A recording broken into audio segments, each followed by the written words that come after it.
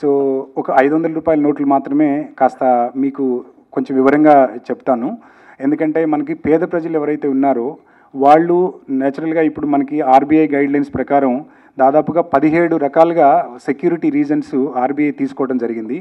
ఈ పదిహేడు reasons normal ప్రజలు ఐడెంటిఫై చేయడం చాలా కష్టం అవుతుంది అందుకనే మేమేం చేసామంటే ఈ నోట్లని వీలైనంత వరకు మనకి కనిపించడానికి న్యాచురల్గా మైక్రో ఇవి పెట్టడం కానీ ఇవన్నీ చేసి చూడాలంటే అందరికీ అల్ట్రా వైలెట్ ల్యాంప్స్ ఇవన్నీ వేసి చూడాలంటే అందరికీ సాధ్యమైన పని కాదు కాబట్టి రొటీన్గా ప్రతి వాళ్ళ చేతుల్లో ఈ నోట్లు సర్క్యులేట్ అవుతుంటాయి కాబట్టి ఒక మెయిన్ ఫైవ్ సిక్స్ మాత్రం కొన్ని అబ్జర్వ్ చేసి మీ ద్వారా ప్రజల్ని కొద్దిగా ఎడ్యుకేట్ చేసి ఈ ఫేక్ నోట్స్ని దాదాపుగా దయచేసి వాళ్ళు తీసుకోకుండా జాగ్రత్తలు తీసుకోవడానికి ప్రయత్నం చేయాలని అనుకుంటున్నాం.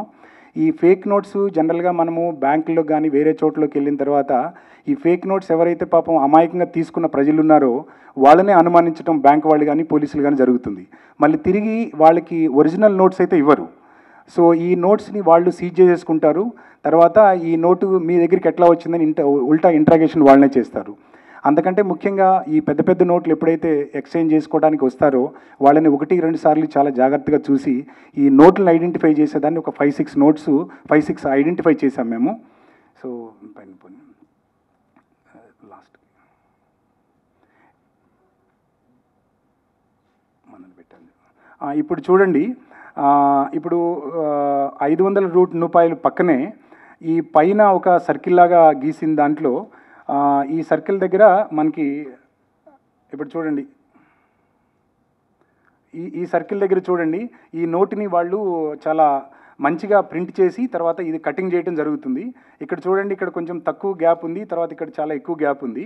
ఈ కటింగ్ చేసేటప్పుడు కూడా కొద్ది గొప్ప నోట్స్ని మనం ఐడెంటిఫై చేయొచ్చు. ఈ జాగ్రత్తలు అయితే చాలా తీసుకున్నారు వాళ్ళు. తర్వాత చూడండి ఇక్కడ పక్కనే గీతల్లాగా ఉన్నాయి కదా. మనం చేయిబెట్టి చూస్తున్నప్పుడు ఈ మామూలుగా ఈ బ్లైండ్ పీపుల్ని వీళ్ళని ఐడెంటిఫై చేయడానికి ఇది కరెన్సీ నోట్ అని ఐడెంటిఫై చేయడానికి ఇది కొంచెం ఉబ్బెత్తుగా ఉంటాయి అన్నమాట. ఈ దాదాపుగా ఐదు గీతలు ఉన్నాయి చూడండి ఇక్కడ. ఈ ఐదు గీతలు కాస్త ఉబ్బెత్తుగా కనిపిస్తాయి అన్నమాట. దాని తర్వాత వచ్చి ఈ ఇక్కడ కింద ఉంది చూడండి ఈ ఫ్లవర్లో ఐదు వందలు అని రాసి ఉంటుంది అనమాట ఫైవ్ హండ్రెడ్ అని రాసి ఉంటుంది. అది మనము మామూలుగా ఇట్లా స్లైట్గా ఇట్లా తీసుకొని చూస్తే కొంచెం నోట్ని ఇట్లా ఇట్లా తిప్పి చూస్తే మనకి ఇక్కడ ఫైవ్ హండ్రెడ్ రూపీస్ నోట్ కనిపిస్తుంది. అది కూడా మనం మామూలుగా చేయొచ్చు. తర్వాత ఇక్కడ చూడండి ఇక్కడ చూడండి ఇది మన సెక్యూరిటీ సెక్యూరిటీ థ్రెడ్ అంటారు దీన్ని. దీన్ని ఇక్కడ మనకి ఈ వీళ్ళు ఈ బ్లూ కలర్కి సంబంధించిన చిన్న చిన్నవి తీసుకొని వీళ్ళు పేస్ట్ చేయడం జరిగిందనమాట మామూలుగా అయితే ఇది మొత్తం ఒకటే మన మామూలుగా కింద నుంచి పైన నవారి అల్లుతారు కదా నవారి మంచంలాగా అల్లినట్టు ఉంటుంది అనమాట దాని మీద ఆర్బీఐ అండ్ మన ఇది రాసి ఉంటుంది అనమాట హిందీలోను తర్వాత తర్వాత ఇంగ్లీష్లోను రాసి ఉంటుంది. అది వీళ్ళు చేయలేరు. మనం ఎగనెస్ట్ ది లైట్ చూస్తే ఇదంతా కూడా ఒకటే రకమైనటువంటి థ్రెడ్ లాగా కనిపిస్తుంది. బేసికలీ ఇక్కడ మనం చూస్తే అక్కడ మళ్ళీ ఎక్కడైతే వీళ్ళు అంటించారో అంటించిన ప్లేస్లో తప్ప మిగతా ప్లేస్లో మామూలుగానే ఉంటుంది అనమాట థ్రెడ్ కనిపించదు. అది ఒకటి మనం ఐడెంటిఫై చేయొచ్చు. ఇక్కడ గాంధీ తాతగారి బొమ్మ ఉంటుంది ఆ బొమ్మ ఉన్న చోట వీళ్ళు ఏం చేశారంటే ఆ మార్క్ కూడా వీళ్ళు చేయగలిగారు.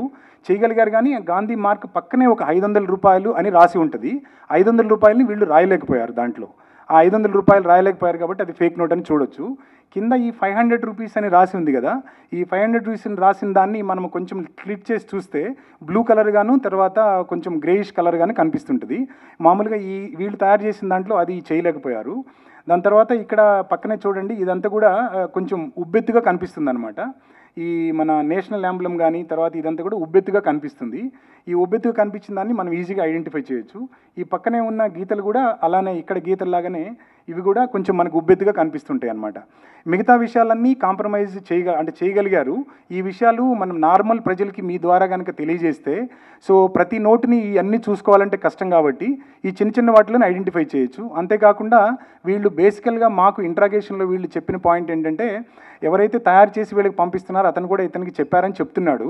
వాళ్ళు మామూలుగా బాండ్ పేపర్ తీసుకొని ఆ బాండ్ పేపర్ మీద పైన ఉన్నటువంటి పార్ట్ అంతా కట్ చేసి ఆ కింద ఉన్న పార్ట్ ఏదైతే ఉందో ఆ పార్ట్లో ఎన్ని నోట్లు వస్తాయో చూసుకొని అన్ని నోట్లు వీళ్ళు ఇట్లా క్వాలిటీగా జిరాక్స్ చేసేసి చేస్తున్నారనమాట